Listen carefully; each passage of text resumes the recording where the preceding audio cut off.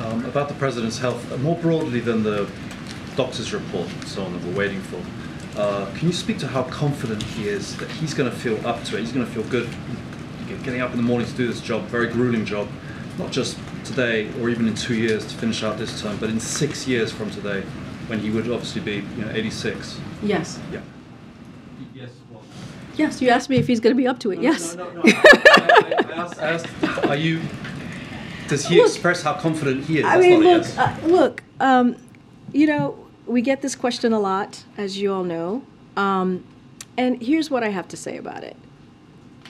The president always says this, which is watch him. And if you watch him, you'll see that he has a grueling schedule that he keeps up with, that sometimes some of us are not able to keep up with. Uh, he uh, was State of the Union, I believe he spent 90 minutes uh, speaking to con- the con- congressional members in front of him, to the American people. After that, he spent an hour shaking hands and saying hello and greeting uh, the congressional members and their guests.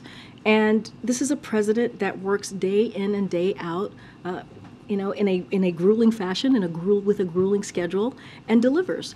And let's not forget, it is interesting that we get this question about this president, who has had one of the most historical uh, presidency in his first two years than any other president, almost any other president.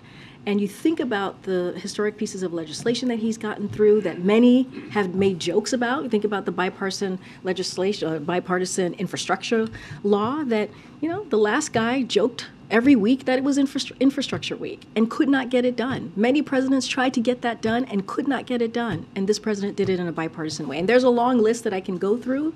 I know you guys don't want to hear me go through them at this time, uh, but we have talked about them over and over and over again. And it is surprising that we get this question when you look at this record of this president and what he has been able to do and deliver for the American people. And he is able to do that because he's clearly capable on so many ways and so many levels. And he's going to continue to do that uh, in the years up in the years coming. Thanks. Go. Thank you.